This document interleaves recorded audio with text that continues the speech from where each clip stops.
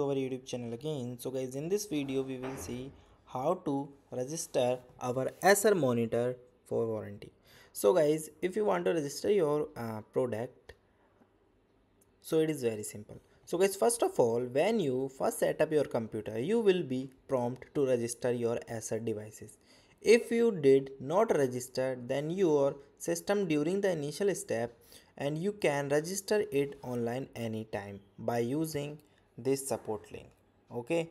The registration process will be create an acer id account that allow you to log into the acer website to get the personalized product update and support. And you can use the below step to register your acer device during the first time setup. If you do not want to create an acer id at this time so you can opt off the registration process by clicking next without entering any information okay. Now we discuss how we can register for first time start our product. So guys first of all you can power on your system and go through the initial step process. Then you can enter your name reason and email address on the welcome screen.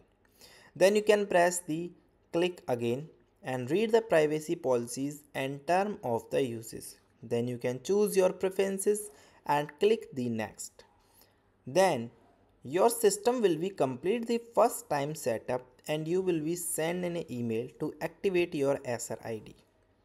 Then you can open the activation email and click the link to activate your Acer ID. Once you activated, you will be log in with your Acer ID anytime at the Acer official website. Now guys, we will discuss if we forget to set up in the initial stage then how we can set up after that for that you just simply go to the any browser. Here you can search the acer monitor sorry acer support. Then you can press enter and after that you can click on the support.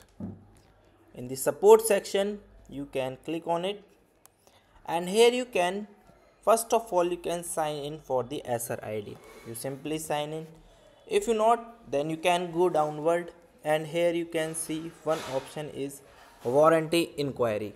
Then you can click on warranty inquiry and here you can see the register a product. Here you can click on it and here you can put the details of your product and now in the below you can submit your form okay and here you can enter your invoice copy. So guys this is the way for registration your product in the acer okay? So guys thank you and have a nice day and subscribe our youtube channel for the further information. Maybe this video is very helpful for you